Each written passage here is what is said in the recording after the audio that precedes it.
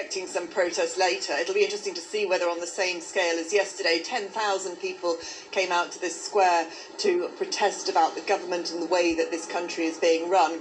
Um, it is important to say that, of course, many people here are trying to rebuild their homes, so they haven't got time to be out here an awful lot this um, conference that's going on, uh, the teleconference to um, bring together the international donors, will be watched with interest because there is a desperate need for some kind of aid here. It's thought that 11 billion pounds worth of damage was done, and that's not an amount of money that Lebanon has. This is a country that's pretty much bankrupt.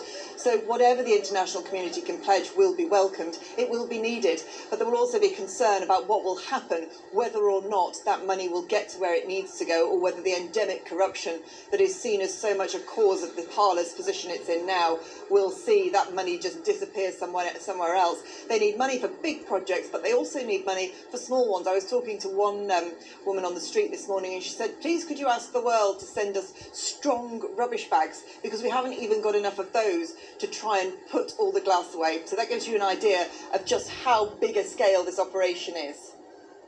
Okay, Emma Murphy in Beirut. Thank you very much.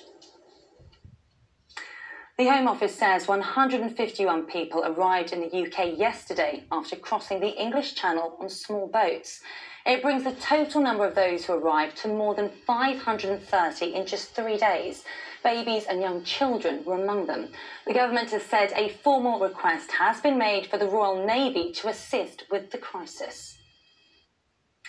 Brazil's death toll from coronavirus has now surpassed the grim milestone of 100,000, just five months after the first reported case there.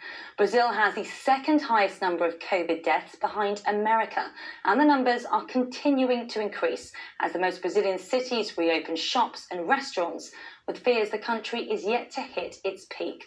Our correspondent John Ray reports.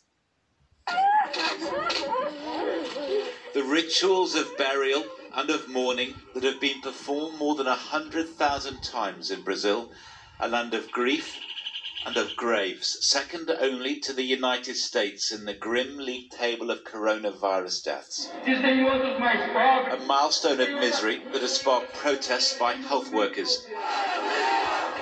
aimed at President Jair Bolsonaro, whose populism has proved no match for the pandemic.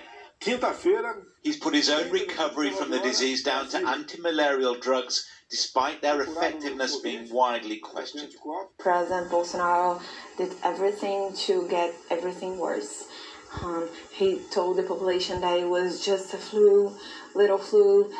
In our ICU, we have This intensive care doctor sent us a video diary as cases headed towards their peak. Brazil, when we all we had like a thousand more than a thousand deaths per day.